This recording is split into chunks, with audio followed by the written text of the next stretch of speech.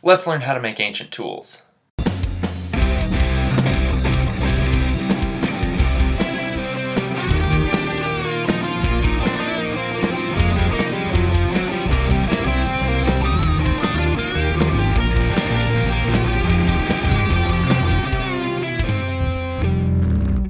I'm actually going to go back on what I said a minute ago. We're not actually going to make these ancient tools because what we're talking about today is a process called flint knapping.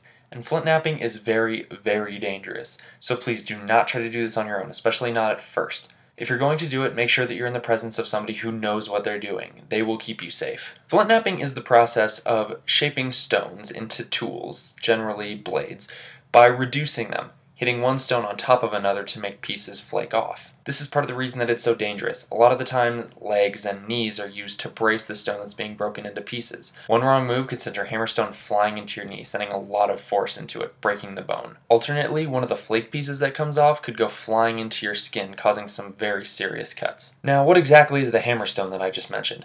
The hammer stone is exactly what it sounds like. It's the stone that's used to hit the other stone that's being reduced. Now hammer stones don't just have to be stones, they can be a number of things. Beyond just stones, hammer stones can also be antlers. A lot of the times they're elk or deer antlers. And each of these kinds of hammer stones give different flake patterns, meaning that different kinds of tools can be created using different kinds of hammer stones.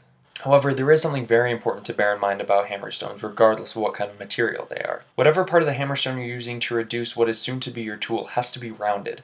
This is because it helps to create very, very distinct flake patterns, whereas sharp edges would probably just crush the stone that you're trying to reduce. A lot of modern flint knappers use obsidian as the stone that they're trying to reduce. This is because obsidian is relatively easy to break and it breaks in a relatively uniform pattern. This means that they can get blades in very uniform ways and that the stone will break in the way that they want it to. Now, stones and blades are going to be produced in different ways depending upon the hammerstone that is used, the force that is used, the angle that is used by the hammerstone, the thickness of the stone that's being reduced, and the angle of the stone that's being reduced. Now, there are a lot of modern flint knappers, but not many of them do it for the same reason reasons that ancient people did it.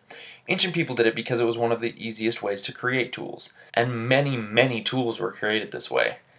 Arrowheads, both notched and non-notched, knives, some bolts for things such as atlatls, axe blades, and flake tools, tools which have had parts flaked off to create sharp edges.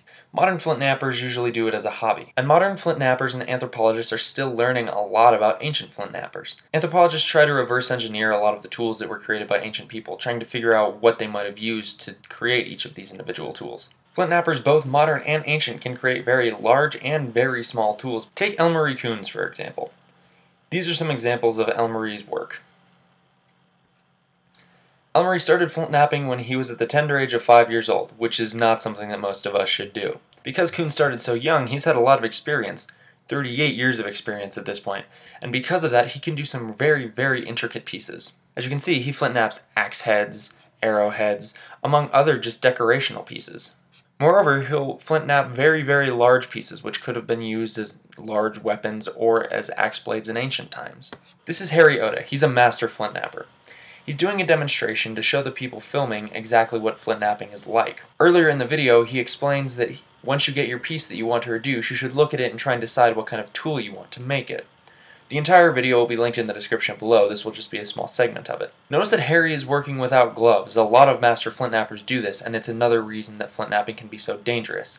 It requires a lot of dexterity, and one wrong move can lead to broken fingers or hands. Now as Harry begins to reduce this piece more and more, he begins to get a better idea of where his edges are going to be, and so he can speed up. It's incredible how fast he can make what was once a lump of obsidian into a very, very sharp biface tool. In the video, Harry also explains briefly how angles are important and how hitting the piece in different places can reduce it in different ways. Harry also demonstrates several other things, like taking pieces that have flaked off and using smaller tools to refine those into things that would be arrowheads or the like. Modern flint knapping certainly isn't used for the same things that ancient flint knapping was used for, but it appears that it's not going anywhere, and it's an interesting way to reconnect with our ancient ancestors.